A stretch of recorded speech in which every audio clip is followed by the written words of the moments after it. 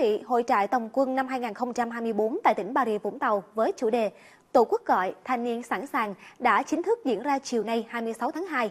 Với nhiều hoạt động vui tươi ý nghĩa, Hội trại Tổng quân đã tạo khí thế sôi nổi, động viên thanh niên trước ngày lên đường nhập ngũ.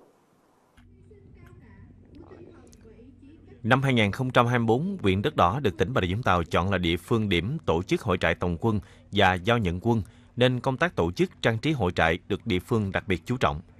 Tám tiểu trại được trang trí thiết kế theo phong cách riêng, với tên gọi gắn liền với các vị anh hùng dân tộc.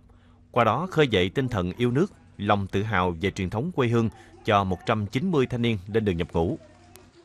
Ban chỉ huy quân sự huyện đã à, tham mưu cho lãnh đạo huyện ủy, ủy ban nhân dân huyện là xây dựng kế hoạch triển khai để tổ chức cái hội trại à, phong quân được à, chặt chẽ đến tất cả các ban ngành đoàn thể và đối với các xã thị trấn. Năm nay thì đối với huyện đất đỏ chất lượng của thanh niên thì ngày được càng được nâng cao hơn so với năm ngoái kể cả về sức khỏe, về trình độ văn hóa và đặc biệt là 100% là à, thanh niên xác định tốt cái nghĩa vụ tình nguyện lên đường nhập ngũ.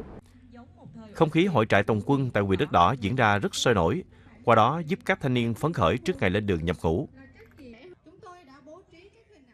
Hôm nay là hội trại rất là vui, và quyết tâm là sẽ cố gắng thực hiện theo những gì được giao, giao phó và sẽ cố gắng hết sức mình để không phụ kỳ vọng của mọi người. Không khí hội trại tổng quân ngày hôm nay là rất là vui và ý nghĩa, được cho các thanh niên là giao lưu và tiếp xúc với nhau trước trước khi về đơn vị mới. Em xin hứa là em sẽ hoàn thành tốt nhiệm vụ của cấp trên giao. Tham gia hội trại tổng quân huyện Long Điền có 207 trại sinh. Tất cả đều hòa mình vào các trò chơi sinh hoạt tập thể, mang đến khí thế vui tươi trước giờ lên đường. Trại tổng quân rất là ý nghĩa đối với em khi mà uh, em sẽ uh, được uh, gắn kết với đồng đội nhiều hơn thì uh, các trò chơi uh, này giúp cho bọn em uh, giải tỏa được những cái uh, nỗi lo lắng. Có rất nhiều uh, trò chơi uh, giải trí vui vẻ, và giúp cho em thoải mái tinh thần để ngày mai uh, sẵn sàng tham gia nhập ngũ. Có mặt tại hội trại tổng quân, nhiều phụ huynh chia sẻ niềm vui cùng động viên con em yên tâm lên đường thực hiện nghĩa vụ công dân. Cũng rất là hạnh phúc, tự hào khi con mình được ờ, ờ, làm tròn trách nhiệm để đi nghĩa vụ quân sự.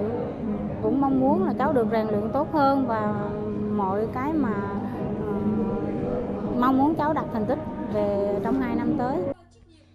Trong khuôn khổ hội trại tổng quân, lãnh đạo các địa phương và các ban ngành đã gặp mặt động viên và giao nhiệm vụ cho thanh niên. Theo đánh giá của Hội đồng Nghĩa vụ quân sự tỉnh Bà Rịa Vũng Tàu, năm nay hội trại tổng quân được tổ chức quy mô và có nhiều hoạt động phong phú, ý nghĩa hơn, tạo không khí vui tươi phấn khởi trước giờ các thanh niên lên đường nhập ngũ.